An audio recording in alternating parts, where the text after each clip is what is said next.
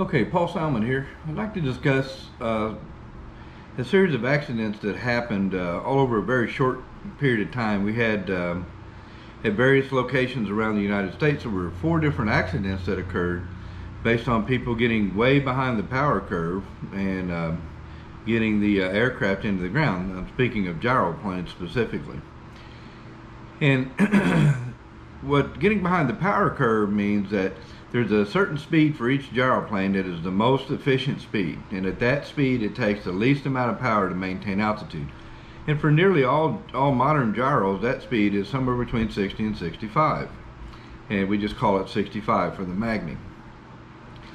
And so at 65, the amount of drag is the, is least on the air. The total amount of drag is least on both the rotor and the body of the aircraft and so that makes it the most efficient speed and takes the least amount of power to, to keep the aircraft at a level attitude, or I'm sorry, at a, at a level altitude. So as you raise the nose of the aircraft and you start slowing down slower than 65, with as you get slower and slower, it takes more and more power to maintain altitude.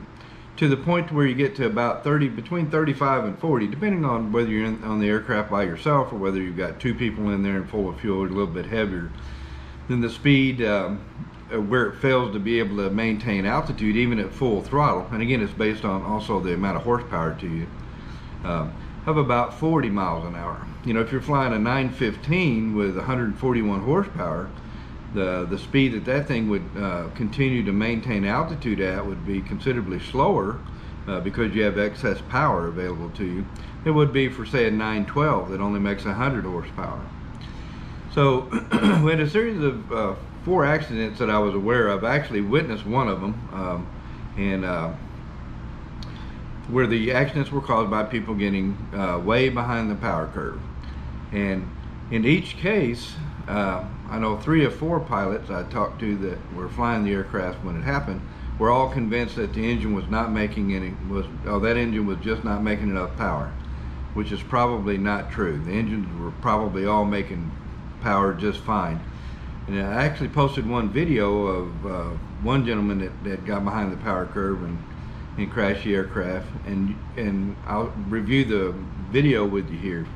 If you look at the first part of the video, when he accelerates, the aircraft rapidly accelerates. And you'll see that he gets into the air in a very short distance. The problem is that when he gets it into the air in a very short distance, his ground, his uh, airspeed is fairly slow, probably only about 45 or 50 when he gets into the air. He immediately made a downwind turn, which sort of sealed his fate. Uh, as you study aerodynamics, you'll find out that in level flight, it takes 1 G of lift to support the weight of the aircraft. As you roll into a turn, when you get to a 30 degree turn, it's 1.4 Gs. So effectively, the aircraft weighs 40% more in a 30 uh, degree bank. When you get to a 60 degree bank, that's two. That's a 2G turn, and the aircraft essentially weighs twice as much. It takes twice as much lift in a 60 degree bank to maintain altitude than it does in level wings. All right. So let's review. Let's take a quick look at the uh, video here, and then I'll come back with a few more comments.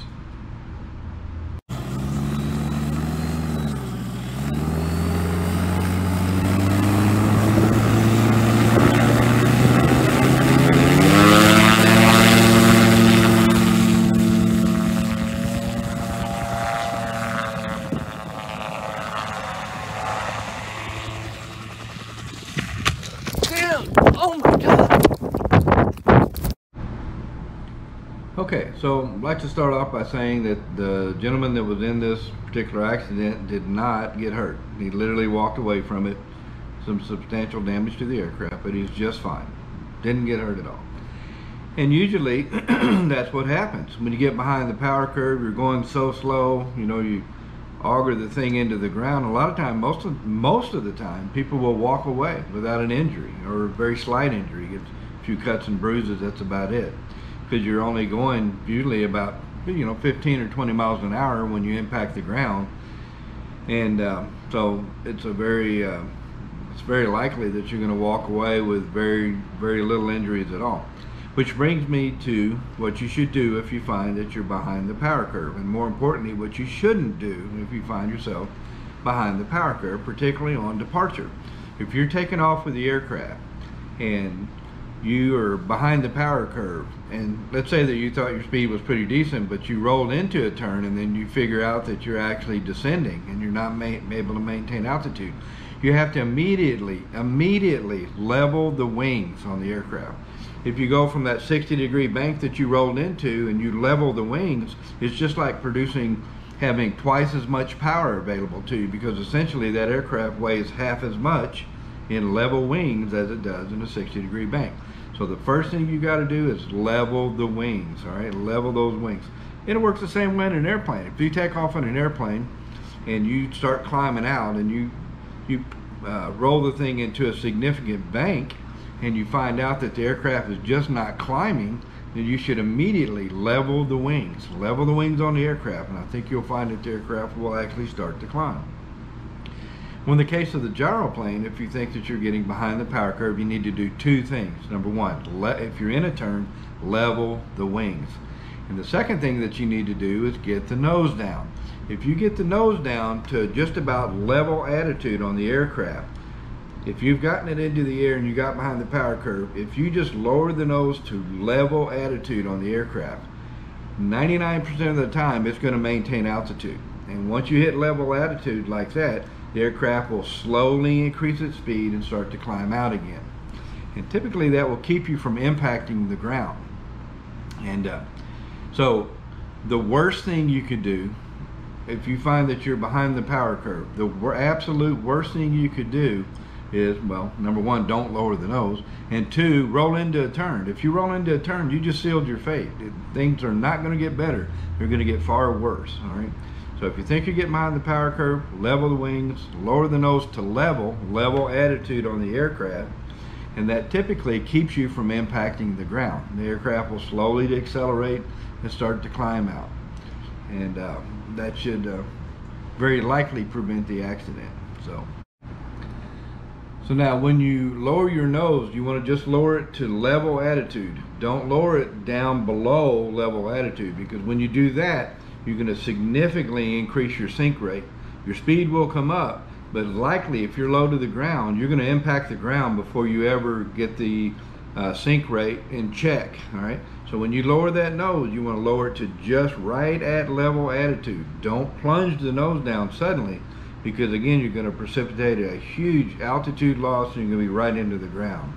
Now, having said that, as long as you're not in a turn, as long as your wings are level, even if you did if you screwed it up and you didn't quite get the, sink rate in check and you did actually touch down on the ground, as long as you're pointing straight ahead and there's something under you, say for instance a runway, to land on, likely it's just going to bounce and it's going to be likely a little bit ugly, but probably not even going to do any damage to the aircraft, all right?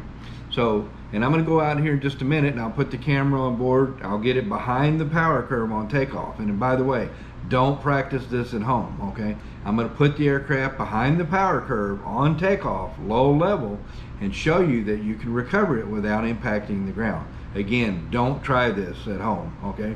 If you want to practice recovering from behind the power curve, get on up several hundred feet. Get up, you know, 800, 900,000 feet and practice uh, getting the thing behind the power curve then bringing the nose down to level and convince yourself that the aircraft will climb out at full power, level attitude, that'll stop your sink rate and the aircraft will accelerate and climb out.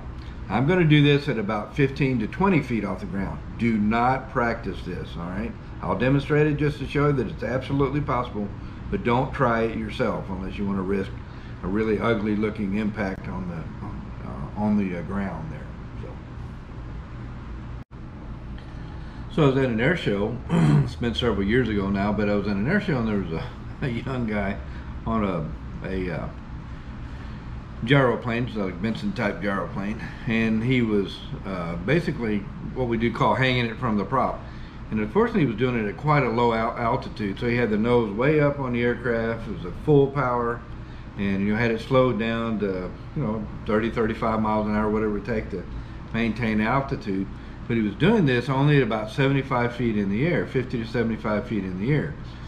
If you do that and your engine quits at that point, it's going to be really ugly because you have to get the nose down to try to recover your airspeed, and there's no way you're going to run out of altitude before you ever get your sink rate in control, and you're going to hit hard and likely get hurt with that. So I walked up to him and I was waiting until he took a break, you know, he's down on the ground. And I walked up to him and told him, hey, you know, sometime when you're up there, you know, hanging it on the prop like that, you ought to go up, you know, three or four hundred feet, 500, 600, something like that, you know, just to make sure in case the engine quit, you know. And I guess he thought it, it wasn't any of my business to tell him that. And I think he told me to kiss his ass or whatever. I'm like, you know, you don't have to prove it to me. I just go up sometime, go up five or 600 feet and do that same thing, hanging on the prop and get it slowed down where we're just barely maintaining altitude, and then chop the throttle and see how much, uh, how long it takes you to recover, and see if it's possible to recover it in 75 to 100 feet.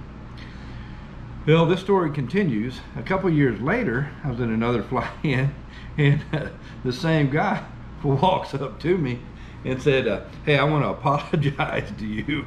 Uh, evidently, he went up and did that. He went up five or six hundred feet hanging it on the prop like that, chopped the throttle, and it scared the living hell out of him how much altitude he lost before he could recover the aircraft. So, again, some of these things you don't want to, you know, don't get behind the power curve low to low to the ground.